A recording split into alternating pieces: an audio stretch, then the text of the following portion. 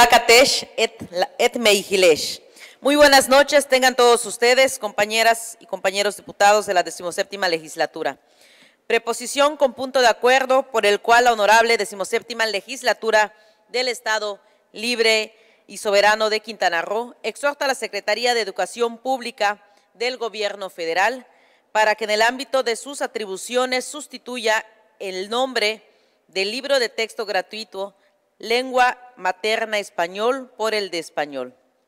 En 1999, la UNESCO decidió crear el Día Internacional de la Lengua Materna, que desde entonces, cada 21 de febrero, se conmemoraría en el mundo entero. El plurilingüismo constituye una fuerza y una oportunidad para la humanidad. Encarna nuestra diversidad cultural y fomenta el intercambio de puntos de vista, la renovación de ideas y la ampliación de nuestra imaginación.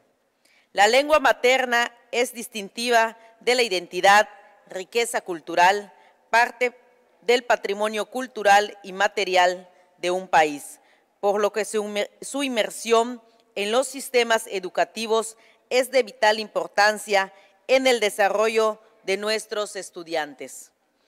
Sin embargo, en el caso particular que hoy nos ocupa, contrario a la protección de estas lenguas, se puede observar cómo son olvidadas en los libros de texto de nuestros estudiantes de primaria, ya que señalan a la lengua madre como la de, a la lengua materna como la de español, ya que los libros se denominan libro lengua materna español, por lo cual invisibiliza a las lenguas indígenas que forman parte de nuestra cultura.